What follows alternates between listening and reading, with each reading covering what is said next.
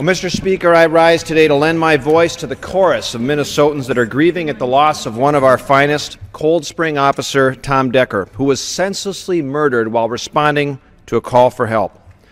A six year veteran of the force and a father of four, Officer Decker, Decker exemplified what it means to serve and protect.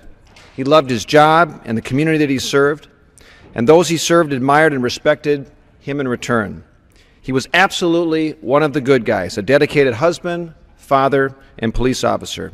So today, Mr. Speaker, let us honor Officer Decker's life and the incredible devotion he gave to his community.